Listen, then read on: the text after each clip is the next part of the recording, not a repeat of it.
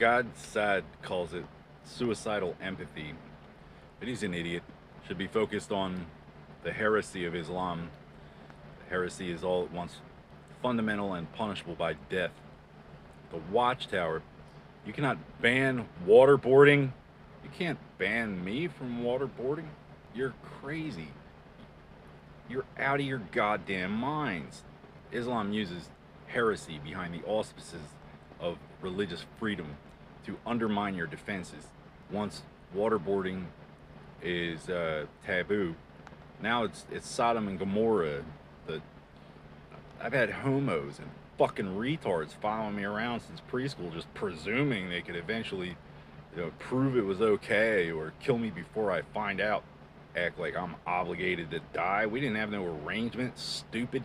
How stupid do you have to be? Some traditions believe everyone has to be dumb enough to be pushed around by anyone dumb enough to believe it.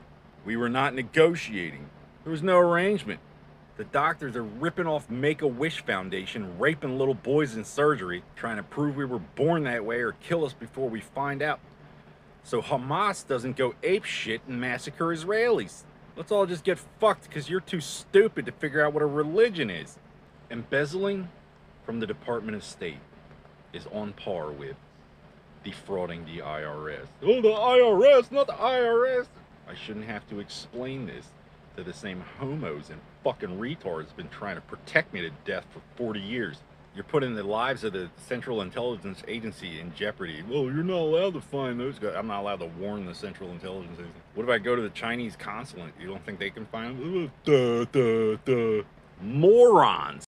It's difficult to save the entire planet by myself on $500 a month, Washington, but we'll figure it out.